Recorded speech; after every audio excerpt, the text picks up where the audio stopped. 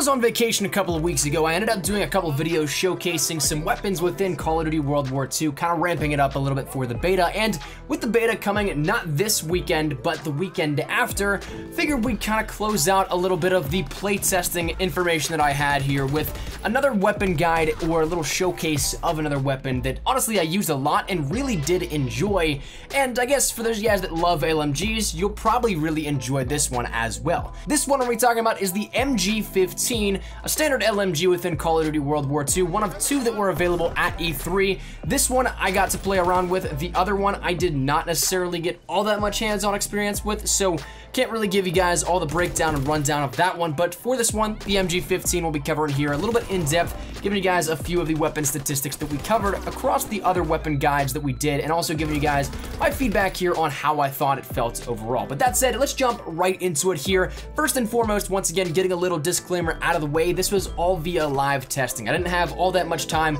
to sit down, go into the firing range, shoot at walls, unload clips, all that kind of stuff, and really just calculate every little bit in detail out out of this to the most accurate representation that I could, but I think that I got it relatively down pat to something that is in the general vicinity of what these stats are. But bearing that in mind and taking this all with a little bit of a grain of salt, all that kind of stuff, the big thing that I found with the MG15, what made it awesome was the rate of fire. It was above everything that you really found as a standard LMG. It was controllable, manageable, but still above the fire rates of that of a lot of assault rifles and other weapons in the classifications in the game. That said though, the standard rate of fire that I ended up finding with this was right around 709 RPM, which is again above some of the other weapons that we ended ended up showcasing already here with this. Some of the SMGs we already covered, that being the MP40 and the M1928, have higher fire rates, but for SMGs, a lot more close quarters, that's something that really comes standard. But as for this, it's controllable. The recoil is not really all that much with this, given the fact that it is a high caliber weapon in the grand scheme of things. But then whenever talking about the high caliber thing here with this, that leads me into my next point, that being the damage.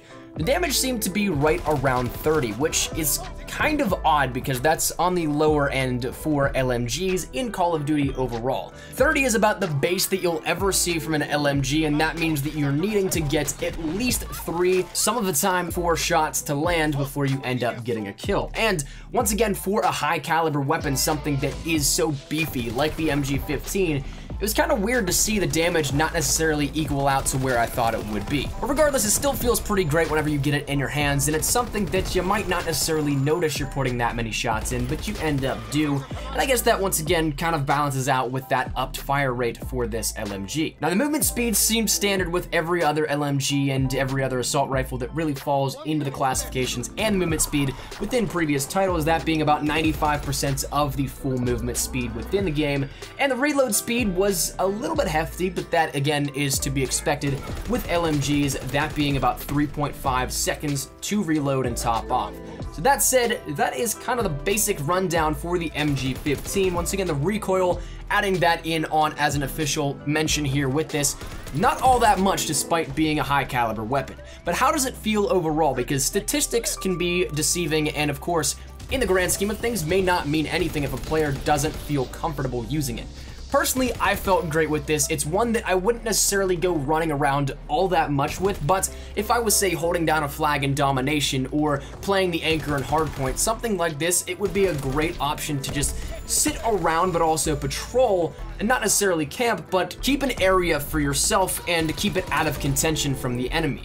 You can definitely hold it down, you can lock it all down, that kind of good stuff, and be a great player with this. But as for like a rushing style or a run and gun, of course, LMGs are never really made for that style as is. So it's kind of odd to see that happen, but if you end up going to try it, I suppose you maybe can, but it really wouldn't work out in your favor. But if you end up playing to the attributes that the gun has, all that kind of stuff, those mid-range engagements and holding the fort down definitely will be very easy within Call of Duty World War II, and it'll be one that you definitely want to pick for that certain playstyle. But that said, would I recommend it? Absolutely, I'd definitely give this one a shot here in the beta once it comes live for everybody. It's a lot of fun to use, even though I'm not necessarily the biggest LMG person. I did enjoy every second of using it. I felt very good here with it, and of course, I think that you can too at that point. But all that said and out of the way, that's gonna wrap up this little showcase, this little statistical breakdown, whatever it may be to you. Give it a shot in the beta, but hopefully you guys enjoyed, and if you guys did, make sure you drop a like down below. Let me know your thoughts down there in the comment section. Do you think it is a little bit too beefy? Do you think it is something that you'll definitely try out? Whatever it may be, feel free to let me know down in the comments. And